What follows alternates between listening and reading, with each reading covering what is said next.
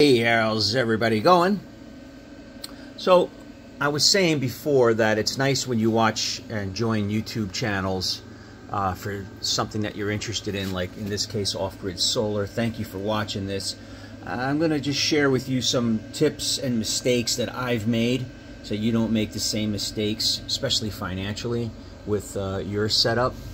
And um, I really enjoy this setup. Uh, it's working very well. So I have two solar trackers and uh, one solar tracker I have called Manny and Mo. Uh, if you follow the channel, you already know this device is absolutely fantastic. This thing is rated at 2,000 watts, and it's never exceeded 2,000 watts. The limiter circuit in here works so well. I highly recommend this. I got this on Amazon by Y&H. Uh, this is the 230 volt single phase 230 volt output one that's hardwired. This is not the, they make one that's a thousand watts and a 2000 watts. I'm sure they make a bunch of different sizes, but I really like this. Look how this thing hangs right at that amount. It won't go over that. It will limit it. So I've got, this is Mo.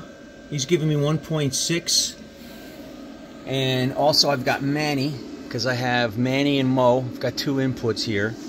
And what I just did was added this battery. And I got this battery. It was on sale from Amazon because I needed more batteries. Now, I know I'm capitulating a little bit. I have said other videos, don't buy batteries. Don't waste your money on batteries.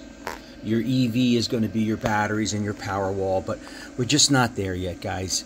And uh, with the warranties and messing around with your car battery, I'm, I'm just going to tell everybody to hold off Let's not make a jump into something and make a mistake that could cost you.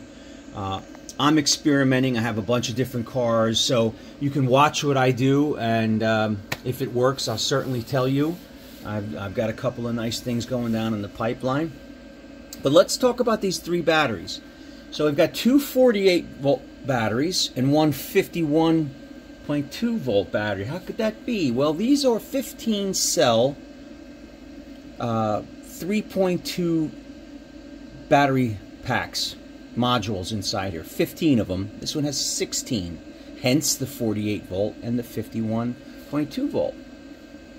Well, when I originally purchased this on Amazon, it said 48 volt. It said that it was compatible with 48 volt and and then it came in at 51 volt. And it does come from China and it took about a month to get here. So I really didn't want to return it. So what I did was I connected it and just let it self-balance out. And it's working really well. So if I turn on the BMS here, and we go into the status, uh, 55 volts was the fully charged on it. And let's go down to capacity. Because this thing had gone all the way down. Capacity, enter. Look at that. 100 amp hour. I'm at 100% state of charge in addition to these guys. So all three of these are 100% charged. Now, I'm still in a bright, sunny, solar day. But these should be charging. So right alone, I don't have enough batteries. If your batteries completely charge on a normal daily cycle, a Sunday, sun, you know, solar day, you need more batteries. So I'm already, that's how good these solar trackers and this equipment. And this is low cost. This guy's very low cost. I don't know, this is maybe 80 bucks. This one is maybe $400. Um, and they're working very well. So one one of the subscribers sent me a message, hey, just get another battery. Because what will happen is if if I don't have these batteries tied back in, feeding my off-grid to help supplement it, this will shut off. This will end my solar day because it has no power, no place for the power to go into. So I don't want that. I'm going to show you another mistake I made.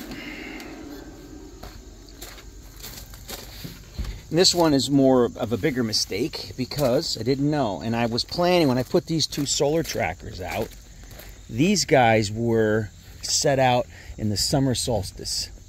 And now that we're getting into the winter solstice, you can see that shadow. So Manny is definitely overlapping Mo. And acutely so earlier in the morning. So right now it's almost noon and I'm got this overlappage. And then as it gets to about 5 p.m., this tree blocks Mo. So I didn't space these properly. So uh, these are 15 feet apart. I recommend you going 20 feet apart. But this is just the first phase of what I'm doing if you follow the channel. I'm getting all solar panels. They're on order for the roof here. That's going to charge directly my e-transit vans. See you guys.